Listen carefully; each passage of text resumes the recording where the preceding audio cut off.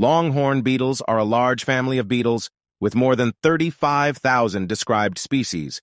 They are characterized by their long antennae, which are often as long as or longer than the beetle's body.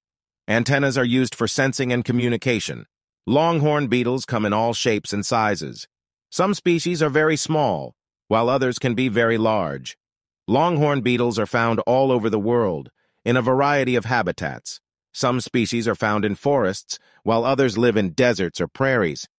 Most longhorn beetles are herbivores, but some species are predators.